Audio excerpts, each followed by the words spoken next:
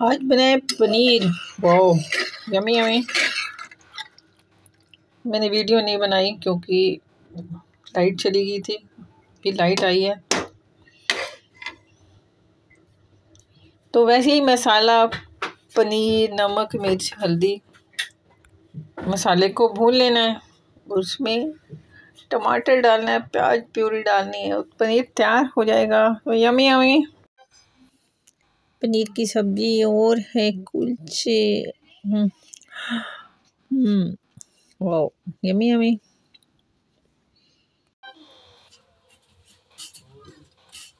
ये कुलचा ले लिया। इसको इस तरह कट कर लेते हैं।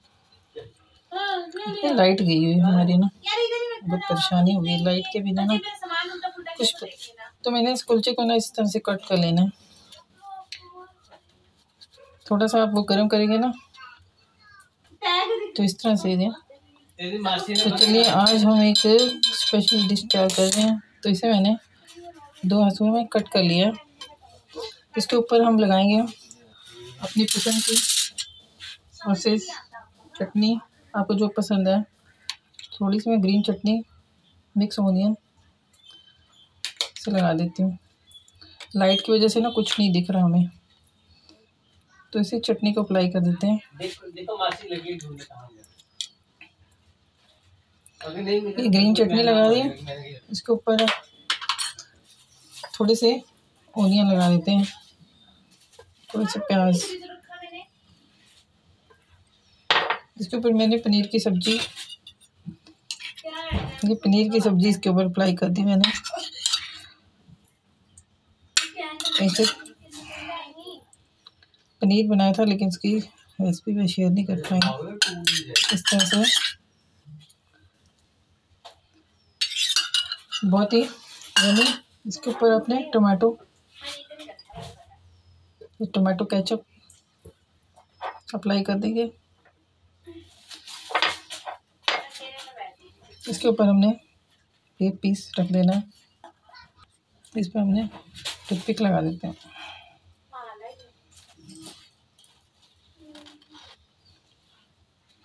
इस तरह से मैंने इस पर टूथपिक रख दी है तो चलिए इसे ना रोस्ट कर लेते हैं।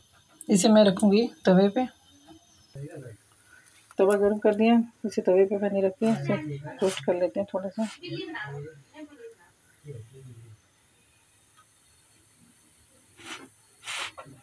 ये हमारा स्टफ्ड बन गया है स्टफ्ड स्टफ्ड कुलचा। तो इसे चलिए हम इसे निकाल लेते हैं बाहर।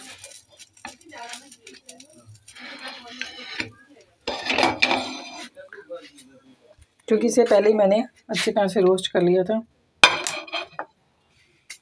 इसके ऊपर थोड़ी सी आप पिज़्ज़ा सिजलिंग, जो आपको सही पसंद है, मसाला डाल सकते हैं।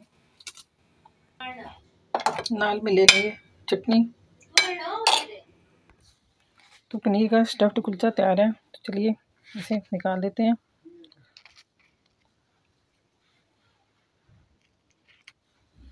चलिए इसे करें इंजॉय तो चलिए इसे ट्राई करिए।